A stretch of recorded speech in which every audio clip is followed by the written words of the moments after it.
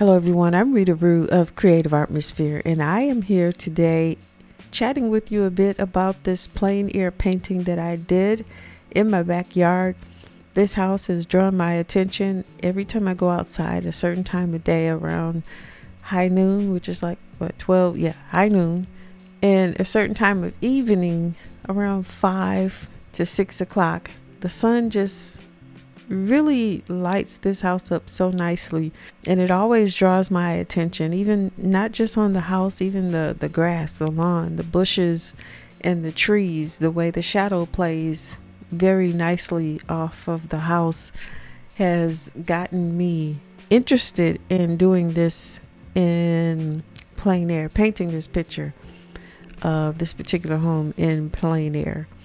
So i want to actually share with you a little bit. Making a little noise back here um, about artistic licensing artistic license.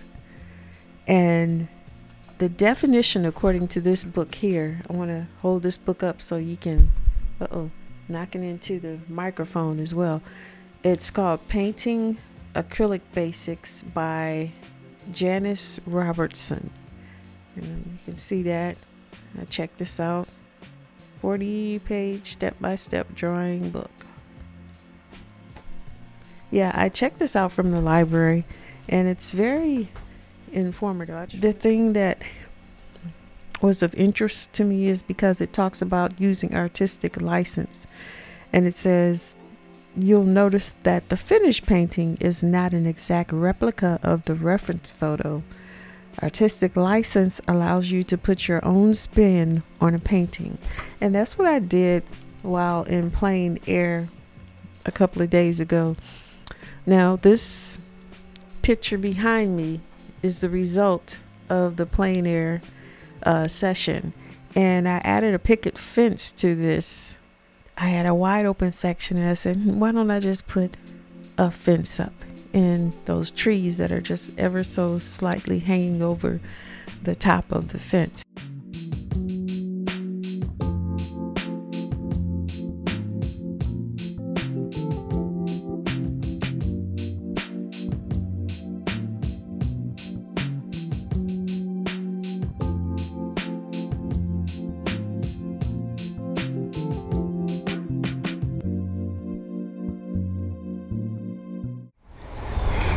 I acquired this draw, jaw jar last night from the applesauce.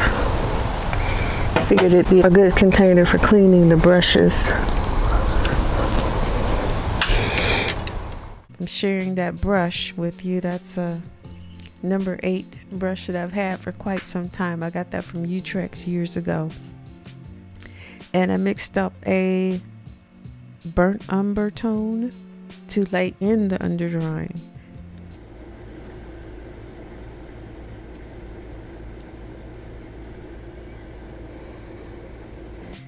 And I had up uh, the the big umbrella on the table to give me some shade because it was hot out there that day. I will share that with you. It was pretty warm. But I didn't let that stop me from getting outside and enjoying myself with this plein air painting. Now, for my setup, I used a setup from this book here. I got another book this one's mine. I bought this one. It's called In Plein Air Acrylic. And this, the author is Mark Mehaffey. This is a good book too. And I actually referenced his book using the minimalist approach for the setup. Um, I'm trying to get that. Maybe I'll just share this with you, a little clip of it. Uh, but it's the minimalist approach and it tells you what to bring just the bare minimum. You bring a bottle of water for drinking mixing paint and cleaning brushes. And i tell you i did need that water because that heat was very dehydrating. And i had an eight inch flat brush and it says you can use it both for painting and for initial outlines. And that's what i did in this picture here and use you use the largest brush that you can. And I used a large brush to paint in that undercolor. Uh, looks like a, a purplish type, reddish color that I'm painting on. And then I went smaller to do the uh, underdrawing with this uh, brush, number eight brush here. And uh, I had a stay wet palette as well, which you see that I have on top of the uh, Sienna Pochade box. There is a towel, a wet towel to be exact, and a piece of wax paper with paint applied on top. And amazingly, this works really well. I had four tubes of paint. I had cadmium red, cadmium yellow, and titanium white, and phenolphthalein blue. I should have had some black with me, um, but I just decided to go with the bare minimum according to this book here. He also had those colors, so he also talks about a collapsible container for water that's for cleaning brushes. I I used to have one of those, but I'm not sure exactly what I lost it. And um, if I if I see one when I'm out again, I'm definitely gonna get that so I can replace it. And then he had two painting panels with him. I just had this one and a large backpack or a large enough bag to carry everything. And this person uses a messenger bag. He's got a picture of that in there as well. So I, I went around, well, I, I followed the minimalist approach. And he also talks about an umbrella, you know, shading the painting. Okay, let's get this in there. Can you see that? Uh, there we go. And I had my umbrella from the table, so I was well shaded. I had all that covered and it made for a great day, a great paint session outside. Where are we at now? Okay, so I'm getting in the values of the trees there, still doing the underdrawing and um, putting some value and tone there. And just enjoying the day and the task at hand before me. And it's not really a task, it was just something very pleasant, a pleasant time outside. I think at this point, I noticed that there's a large empty space there, and I just decided to put the picket fence in. The, the picket fence is not there. That's the artistic licensing that I'm talking about. Adding or taking away things from your art. And if it works, fine. If it doesn't, you know, you can take another approach. It's all your it's your choice.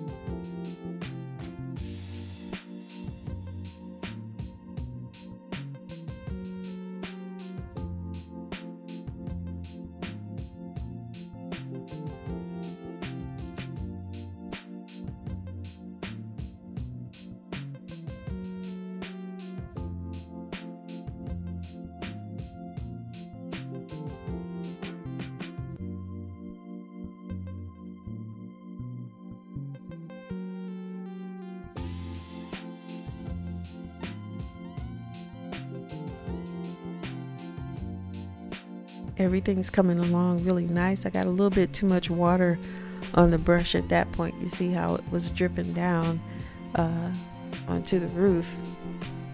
Um, And I'm actually going in again with a little bit more value on the brush, putting some more dark tones on the tree. And now at this point, it looks like I'm mixing in that blue, mixing up the blue to add the sky in. So everything's coming right along. I'm working from the top to the bottom of the painting. And that actually helps when you follow a particular process. When I'm not all over the place, I follow working from the top to the bottom seems to work really well for me. And that's something that I'm going to implement into my painting sessions from here on out. It's been nice reading books and looking at videos and just picking up things here and there from what I can use in my own paint life. Paint life. Let's see here. I've got another book that I use for this as well. This is a nice book, Mastering Composition by Ian Roberts. He also has a YouTube channel that I have subscribed to, and it's a very good channel, a very informative channel. Sorry for knocking the mic around there. Um, if you get a chance, pick up this one. It's got so much information in it. It talks about composition and studying the masters and let's see, armature and horizontals and verticals, things like that. And so much more. So at this point, I have added color into the trees. Got the sky laid in and just putting in the value there. And I think I was talking about that before. I uh, talked about the Ian Roberts book. But uh, now I'm putting some value on the tree bark, and everything is coming along fairly nice. Okay. I got a little tree bark going on back here as well in this tree.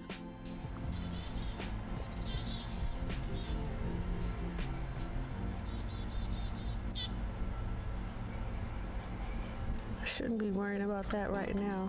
I think I'm jumping ahead.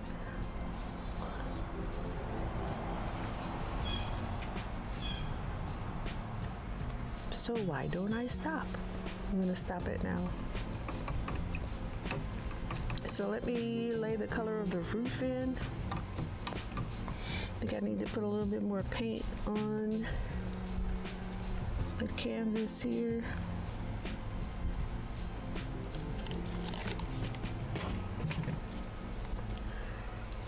It's got some yellow. I definitely need some more yellow.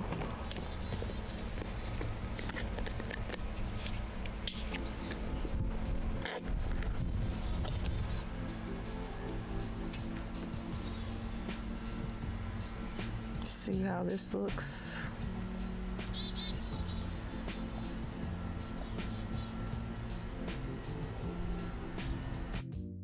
So at this point, I'm painting in the roof color it's kind of like a darker it's not tan i'm not sure why i'm going this light with it but it, it was a little darker than what i have chosen here. But acrylics do dry darker so maybe that's why i went so light on this one but i can see that i did darken that tone up. I added a little bit more of a brown tone to it. And now I'm adding in the color of the actual siding on the house. That was like a, a vanilla type color. It was much more, I can't say eggshell because it had a little bit more of a yellow tone to it than an egg would. So it wasn't eggshell white, but it was definitely in the vanilla family.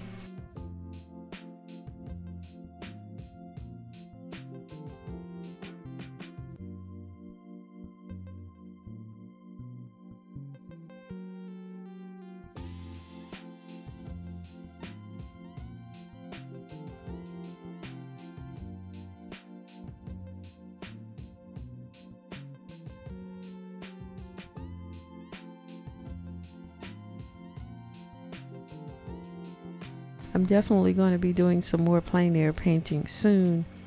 On location, I want to go to a water, like a lake or a beach area, and do a plein air painting there. And I'm looking to do that possibly this weekend. Take about maybe 30 minutes or so to uh, draw a thumbnail sketch in, and it might not even take me that long 15 to 30 minutes um, of working on a thumbnail sketch. And then from there, taking the thumbnail sketch and painting. I'm going to be bringing my four uh, colors with me as well. I might throw in black. I'm not sure, but I'm going to put that in the bag just in case. I'm not sure if I'll use it, but I'll have it just in case. I uh, changed my mind on that, but I'm going to have my cadmium red, my yellow, blue, and titanium white. And at least I'd say a good three brushes one large brush, one number eight, and uh, a pointed, a pointed, a round brush, shall I say smaller for a little bit of details here and there. And I'm not going to get too crazy with details uh, while plein air painting. I'm just going to make sure I block in the shapes, the simple shapes, and capture the colors.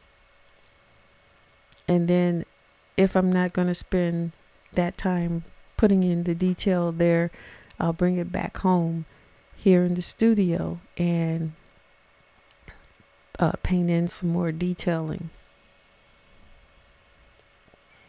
I was rather pleased. I was pleased with how that came out because, well, there's no because. It was practice.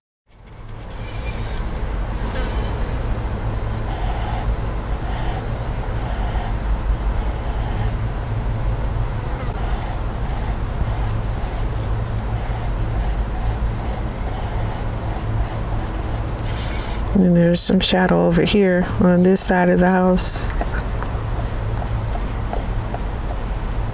There's a tree that's not in view. And now I'm going to lighten it up. Um,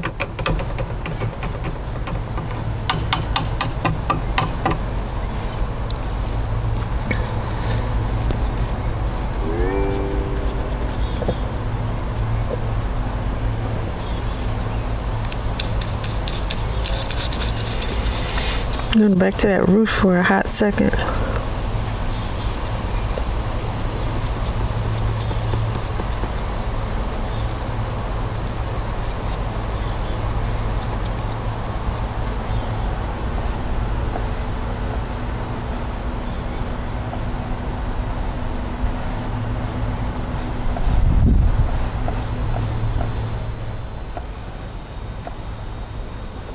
think that's a little better.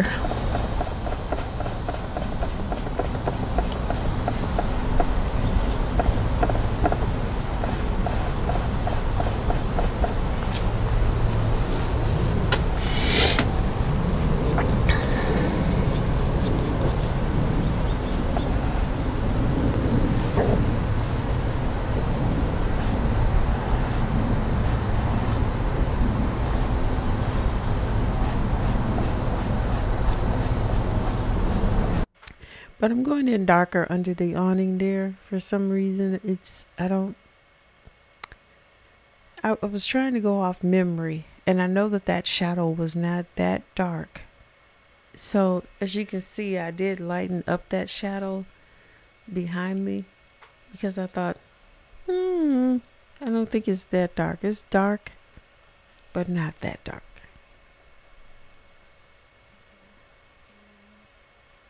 And that's the great thing about painting with acrylics. You can paint in layers. So if there are some changes you need to make, you can do that with acrylics. You can do that with oils too. Speaking of oils, I'm thinking about experimenting with some oil paints as well, getting the four uh, colors as well so I can do my mixing and just giving it a try, seeing what, uh, if anything, seeing what I'm missing out on. I might not be missing out at all, but I do enjoy working with acrylic paints. And I had been thinking about buying a different brand paint and experimenting with that. Um, Golden is one that I might try. Uh, Master's Touch is one that I'm going to try. And uh, there was a couple of others, um, Winsor Newton. So yeah, I'm going to experiment with a different brand of paint. And I notice about the basic brand is that they dry a little dull. And I do like that nice and glossy uh, appearance to the paint. Now, there is a medium that you can use, a gloss medium, that will give you that nice full sheen, uh, shiny look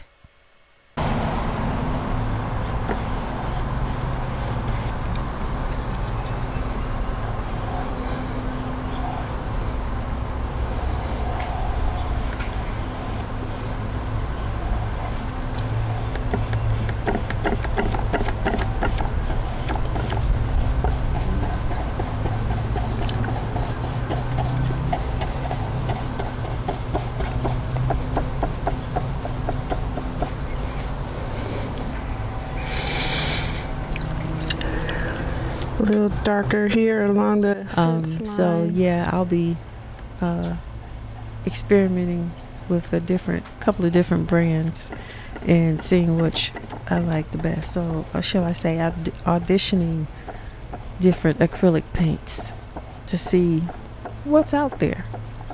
Because i've been using basic paints for since forever and I think it'll be good just to switch it up a bit. Okay, so let me put down a color for and experiment with different the paints. Pavement in the driveway.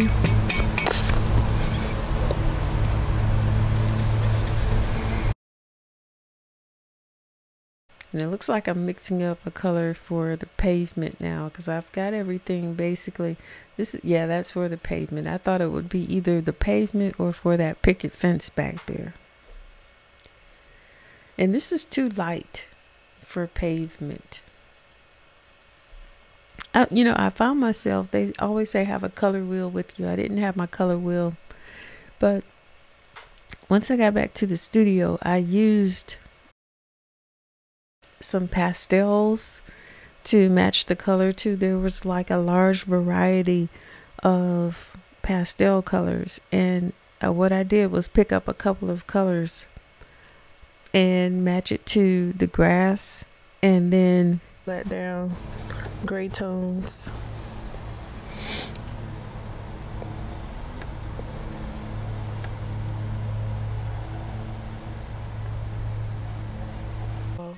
I don't have it here right now. I was going to show you the pastel colors. Might be behind me.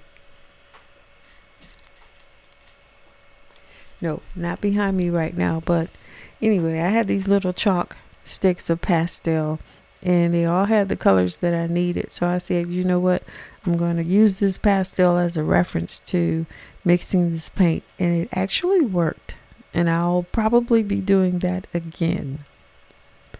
It made me think about what it takes to mix up paint colors. Um, when I sometimes when I mix a green I would put way too much blue in it. So I'd really have to look at the green and decipher how much blue is really in this shade of green. Is it more yellow than blue or is it more blue, you know, than yellow to get the the tone that I was looking for. Even when I mixed up that brown um kind of like that uh the color the siding on the house. It was like a tannish vanilla type color. So I had to ask myself, is there more white in this tone than there is yellow? And, as, and I had to answer, yes, there was. So I just slightly touched the brush in the yellow and mix it until I got that tone that I wanted. And then I found myself adding a little bit of red and blue in there to turn it brown just very little so much so much so just a little dot of it was actually able to get me to where I wanted to be when it came to mixing that color. And um, I actually had pretty a lot of fun with it. I had fun mixing those colors, and usually mixing colors gave me I won't say a headache, but you know, it was a challenge. But I am determined that it will be a challenge no more. And if it is a challenge, I know how to overcome it. Life has challenges, and we just have to hang in there, not give up, and and uh, reach our goals. And it looks like I'm mixing up a looks brownish. Not sure what I'm doing there. I think I'm going to try to darken the pavement up. That's what I'm doing. Mixing like a black in there so I can create a gray. And it didn't work out too well in this session. But when I brought it in the house and used those pastels as a reference, it actually worked. Yeah, but this is a uh, it's kind of funny because the paint value that I mixed in made it look like there was a green grassy effect on the pavement. And even looking at this, yeah, I, I know. And I was not wanting to put any down, but I just said, well, I'm going to go with it. And because I did that because I knew that once I got inside, I could change it. But yeah, that's something else. I'm just trying to touch it lightly to darken it up, and that's not it. But I got it to where it should be. Doesn't the pavement look a little bit gray from what you can see here? I did fix it up thanks to the pastel chalk. And yeah, this was a lot of fun. It was a lesson learned. And I'm saying it was a lesson learned because I know I don't have to do this anymore. I can either get my color wheel or get my pastels out and choose the color that I want to match and match it with my primary colors. It's amazing.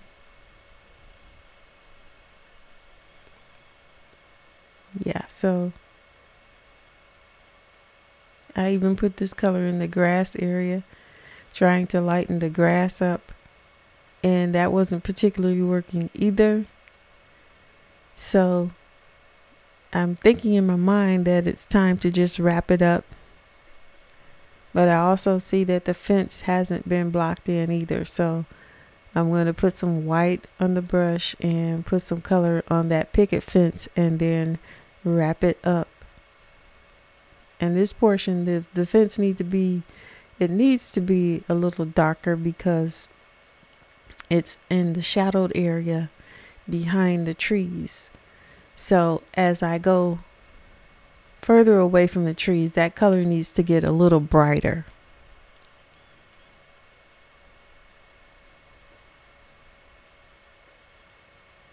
And I'll go back in and add a little bit more white to the brush to lighten up the area to my right.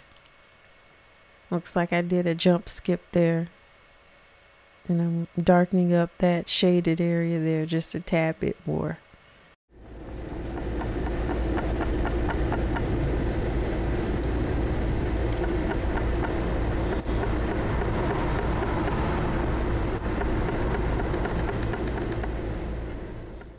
And this is all what blocking in the colors and the shapes is about. Just getting everything down, starting with the thumbnail sketch, and then from the thumbnail sketch, putting in the value, the underdrawing values, and from there, matching the colors of the scene and painting the subject matter in.